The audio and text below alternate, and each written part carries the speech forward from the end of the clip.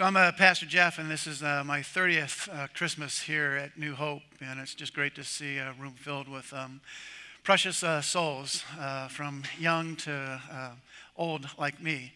Um, so I'm praying for all of us tonight that we would make room in our heart. Uh, we're going to be thinking about this idea of, of moving tonight, this idea that God wants to do something in each one of us. So I'm praying that uh, there will be a warm heart move in as many people as the Spirit of God will move into on this Christmas Eve night. So we're all moving. Again, we all moved into the room this evening. Um, our bodies are moving. We can see that, you know, as our bodies are moving.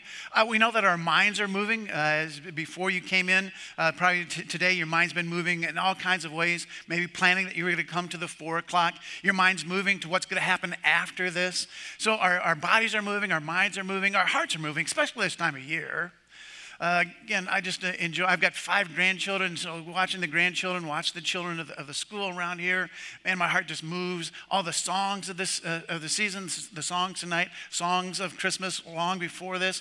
Uh, just there's so many things that can move our hearts that we have this uh, that we have love in so many ways. So our hearts will will move. So there's there's ways that we are moving that we see. All of us can see the ways that we're moving. But you know, there are so many other things that we that are moving that we can't see. So again, you can see my lips flapping tonight, but you can't see the sound waves coming out that's landing on your ears, making you think, maybe hopefully stirring something in your heart. So there, there's all kinds of things that we can't see. Before uh, radio was invented, it was already there, moving. Before television was invented, it Things were already there moving. Before the internet came into existence, it was already there moving. And somehow we figured out how to. Uh, I mean, there's something moving right now. I could ask Siri something right now, uh, and it, there would be an answer. So there's all kinds of things that we don't see that are moving. Hey, I thought uh, maybe for just a couple of moments uh, we could all do some moving. It's Christmas Eve, so it'd be great to just have a kind of warm Christmas greeting uh, with one another. So you can do that with handshakes, but again, um, a disclaimer it's cold and flu season. So maybe instead of a handshake, you could do an elbow bump or a high five or a fist bump or um, a germ free hug. Let's, let's stand up and move and just say Merry Christmas to those that are around you.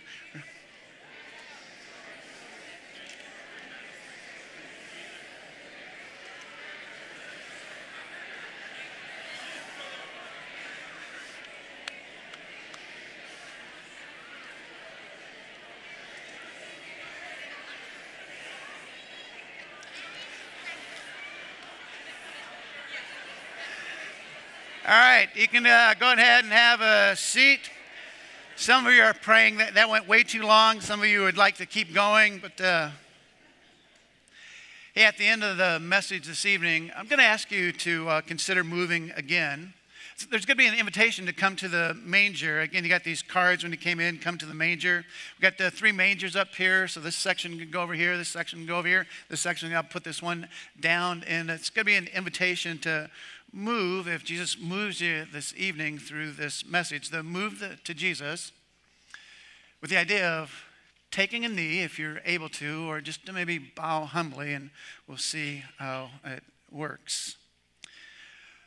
So, before any of us were born, we were already moving when we were in our mother's womb, we were moving. I was looking up at Google. Our hearts start to beat, our hearts start to move like three, four weeks into conception in our mother's womb. Eventually, our legs uh, start growing, our arms start growing, and we start moving in our mother's womb, and she can feel the moves. And sometimes you can place your hand on a pregnant mother's, but always with permission, please. Always ask permission first. But she'll you'll feel the baby move. And so we're, we're always, we, we're, we're moving even before we're, and so life is about moving. My mother loves to tell the story of my birth. When I was uh, being born, you know, contractions, things were starting to move and that. Uh, but the doctor that was attending her thought maybe she, he had a few more minutes and uh, stepped out of the room. And I decided, it's time to come. And so off I came, and the doctor came back in and had to put a lot of stitches in my mother. So I, she always tells the story of how much pain I caused her when I was born. Thankfully, I never caused her any more pain since that moment. So again, she loves to tell that story. It's a moving story when she tells it. So, no matter our age this evening, we're all moving. A variety of speeds. Obviously, our children are moving. There's going to be a lot of moving with a crowd this side with the children, and then some uh, people that are moving very slowly because they're old and, and they just, you know, some age things have happened. And so there's just a lot of uh, variety of speeds, but we're all moving. We're all still moving. So, uh, since uh, last year, well, we've been doing a lot of uh, moving. As we know, we oftentimes will sit and watch others move, move with amazing ability. So, as we know, the football season is about to get over, especially for the Packers. But again, we still watch them because it's just amazing to watch those massive bodies and those fast bodies move the way they can move. Basketball is starting, and so we'll, watch basketball and the amazing moves, and some of these, just, they can jump so high and slam dunk the, the ball. There's, there's soccer, there's, there's baseball, and that comes back in. So there's all this moving. Many young ladies, young, young, young boys, and that, they play this soccer, kind of soccer goes on, and they're just moving, moving, moving, moving. So there's just all this moving that uh, takes place. Uh, some of you, you, you like to, I mean, you would probably rather right now be moving out in the woods, moving by a lake, moving by the, a river. I've already seen some people out ice fishing. And we just like to move to get out there to, to do some hunting, to do some fishing. We just we like to move. Moving is moving is living. So again, since last Christmas, we've had a whole year of moving. That's how we are here tonight. We've been moving. All of us had birthdays that sometimes we moved to the date of our birthday we maybe celebrated it, recognized it, and moved on, and we'll be another year. Maybe we've all probably, for those of us who are married, we had an anniversary. Again, we moved to that date and then moved past it this last June. My wife and I, we celebrated 40 years of marriage. So it was a major anniversary, but we're moving past it. Now we're in our 41st. Uh, some of you, maybe it's your first year of marriage. And it's a new move. You're learning so much about one another. For some of you, uh, it's the first year of having a baby. Man, all the moves that you get to make with a new baby.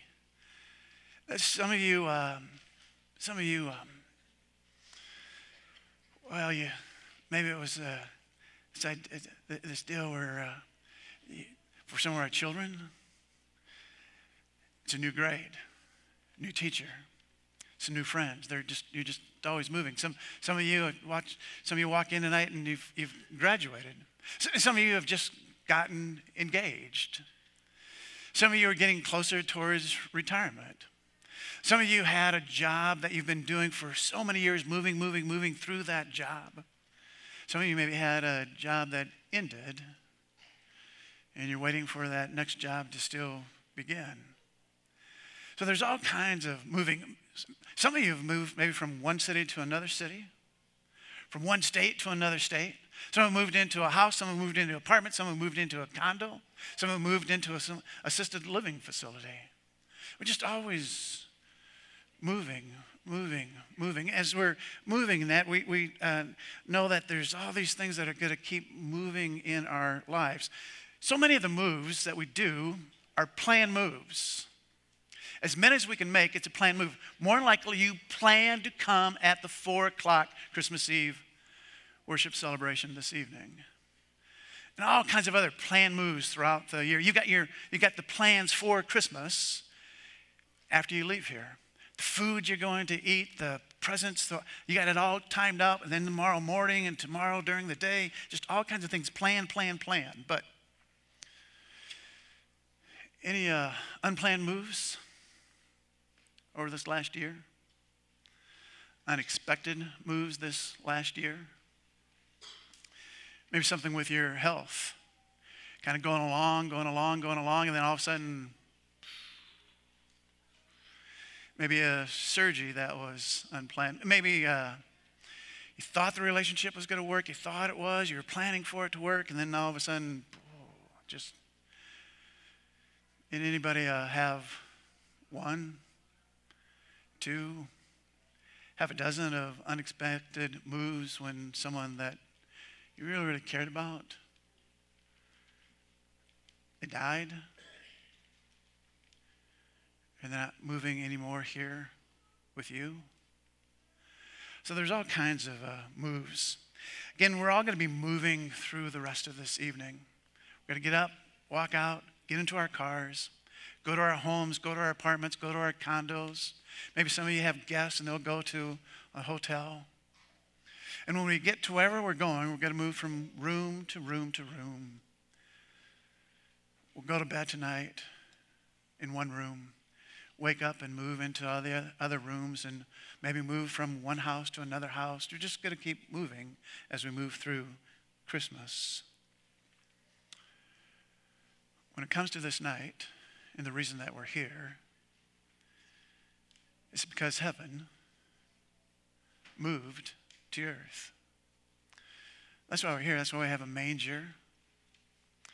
Jesus has always lived in the glories of heaven, but for a certain span of time, he left the glories of heaven and came into this world. And we read through from eyewitnesses that when he was born, he was wrapped in these swaddling cloths, then he was laid in a manger, as we heard in the drama skit. Jesus moved. We've been uh, taking Christmas steps around here. We've been thinking about this idea of Christmas steps that the people of the Christmas story, they were real people.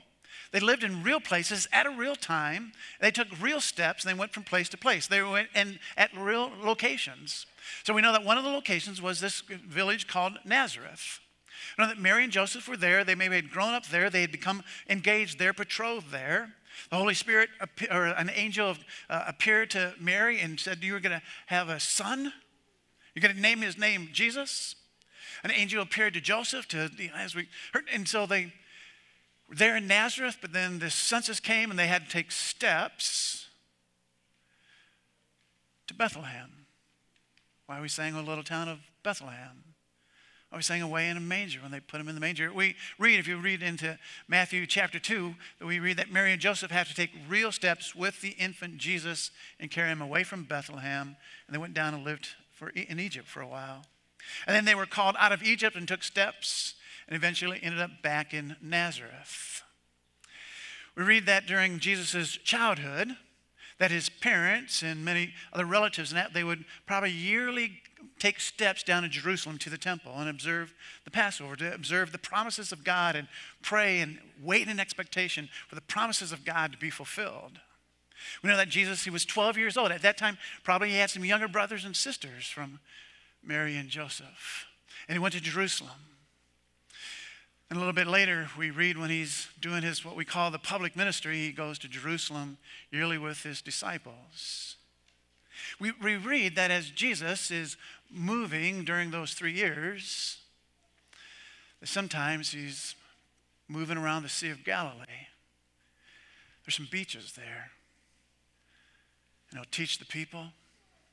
Some of the people will come and he'll touch the people and they'll be healed by, with the move of Jesus in them. Sometimes their, their hearts will be moved, their bodies will be moved, their minds will be moved with the teaching. Sometimes he gets on a boat and goes to one side and some moves happen over there, then moves back on to the other side and some moves happen there. We know that Jesus, he goes from village to village to village, and as he's going to those villages, sometimes he'll attend a wedding. Ah, there's a young man and a young girl that's going to get married, and they've got all these moves, all these dreams ahead of them. Sometimes Jesus probably goes when there's a, a baby that's born and they have a celebration, and Jesus is there celebrating the birth of a new baby. We know that Jesus, he's oftentimes when he goes into these villages, he gets invited to somebody's home and he takes steps and moves and sits at a table and eats a meal with them. We know that as Jesus is moving from place to place and from village to village and from house to house, that sometimes there's a death. And Jesus does some things with some of those deaths. It's never been done before. And people start moving in a different way, and their hearts start moving in a different way, and their minds start moving in a different way. But really, the reason that we're here tonight is not just because of the birth of Jesus and all the other moves. There's one move that brings us here tonight. Jesus moves to the cross. He willingly moves to the cross. Read that a part of that moving to the cross was that he was carrying his cross beam for a while until he couldn't carry it anymore. His body failed him.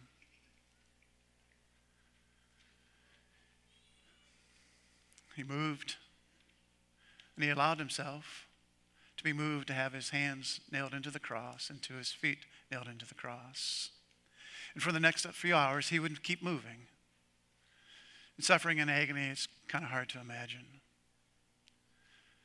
Until we are told he has one last move.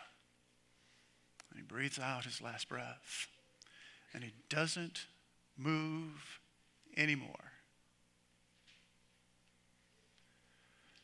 Some people will come and take him down from the cross. Some other people will come and wrap his body and carry his lifeless, non moving body into a tomb. They'll seal a big rock, and he lays in that darkness, not moving. The King of the universe, the creator of all, not moving until Easter. Easter morning. What a move. What a move. And he's still moving today. Jesus, because of that, that cross, that resurrection, starts in a manger, but it doesn't stop there. That's just the first move. Now he's moving. He's always going to be moving. He's moving tonight. He's moving, he's moving in your hearts. He's moving in your minds. He's moving, he's moving, he's moving. In fact, we can say what we're going to read from a Bible passage in a moment is that Jesus is moving everybody. He moves every girl, every boy, every man, every woman, all around this world, all times around this world. It's right here in the scripture that we're going to read, this Bible passage that we're going to read. Jesus is moving everybody, and everybody will move because of who this Jesus is. So in Philippians chapter 2, it says this Jesus emptied himself, he moved, he moved to empty himself by taking the form of a servant, being born in the likeness of us. As we came out of a mother's womb, Jesus comes out of a mother's womb. And being found in human form, just as we are in moving, just like we do, Jesus humbled himself to become obedient to the point of death, even death on a cross. But because of all that, then it says, But therefore God has highly exalted him and bestowed on him the name that is above every name. Think of the most famous name, the most popular and the most viral name, the most your favorite sports star, and Jesus' name is so far above it. Because whatever name you think of, maybe it's been around 30 years, 40 years, 80 years, but the name of Jesus is why we're here tonight. That the name uh, uh, that is above every name, so that at the name of Jesus, and here we go, here we go, at the name of Jesus, at the name of Jesus, at the name of Jesus, every knee should bow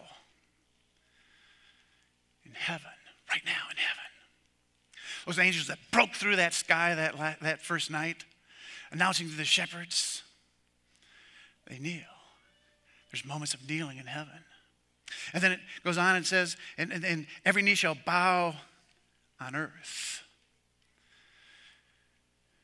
We have the invitation to take a knee before Jesus.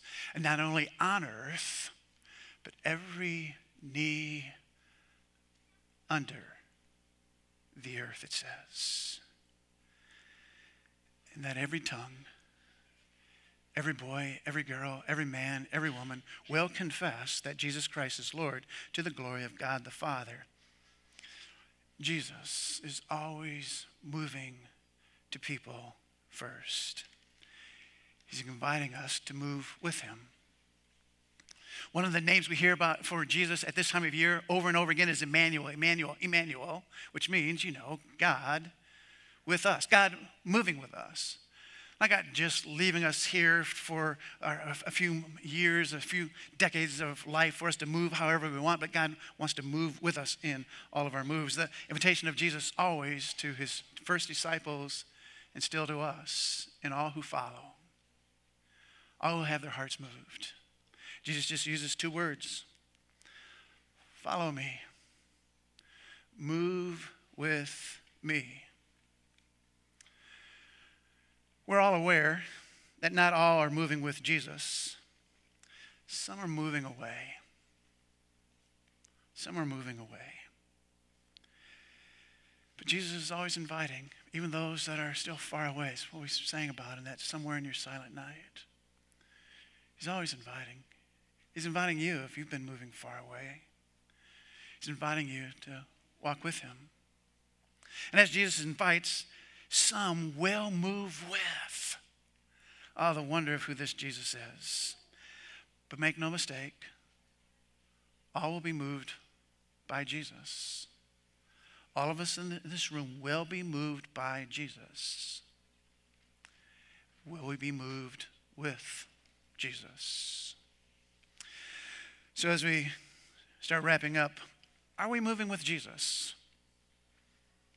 Are we moving with Jesus?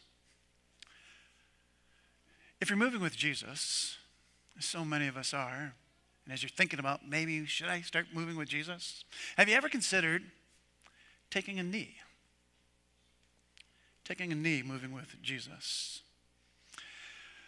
I'm going to make the case in these few moments that we have left that it's a good move to take a knee with Jesus. We could say it like this it's a soul good move. Not just a so good, it's a so good move to take a knee with Jesus. So it's been my practice uh, every morning for a lot of years. I couldn't even tell you when it started at. I roll out of bed and I just drop to my knees. Not for long. Maybe 10 seconds, maybe 15 seconds. Oftentimes as I drop to my knees and I'm waking up and just saying, Oh, God, for your unfailing love, for your mercy. Then usually I'm praying, God, will you stir a warm affection in those that I love? Then I get up and get moving. Oftentimes I uh, uh, get ready and shave, and then I, I, go and exercise. I like moving exercise, and many of us are wearing some kind of an exercise measuring device. I got a little Fitbit. I'm way over 10,000 steps, so I'm kind of proud, and I'll get some more doing this, I'm sure. So you move, you, maybe you'll get some kind of, so we like to move, we like to move, we like to move, but I just, I love to move on my knees. Uh, uh, a little bit after exercise, I uh, take some time and do what we call daily 15 around here. And I always start a portion of my daily 15 with the words of Psalm 95, and it goes like this Come, let us sing to the Lord. Let us make a joyful noise to the rock of our salvation. Oh, come, let us make, make a joyful noise to him. And, and, and uh, uh, sorry, got it. I should know this because I've been doing it for 30 years. Let us come into his presence with thanksgiving and let us make a joyful noise to him with songs of praise. For the Lord is a great God and a great king above all gods. In his hands are the depths of the earth. The heights of the mountains are his also. The sea is his, for he made it, and his hands formed the dry land. Oh, come, let us worship and bow down. Let us kneel before the Lord our Maker, for he is our God, and we are the people of his pasture and the sheep of his hand. I want to move with that kind of God. I want to kneel before that kind of God. A little while later in that daily 15, I'll drop to my knees once again and pray the Lord's Prayer on my knees. So, why? Why do I do that? Oh, Jesus is calling to me. He's calling to you. And as I move through this life, I don't move as fast as I used to. Someday, I'll move a whole lot slower than I even moving now. And someday, like Jesus, there will be a last breath and I won't be moving anymore. But because of who this Jesus is, it'll give me that first breath of all eternity. And it won't be a new practice for me to start having moments of kneeling in heaven praying that it won't be a new practice for you. So Jesus is calling. Follow me. take a knee. So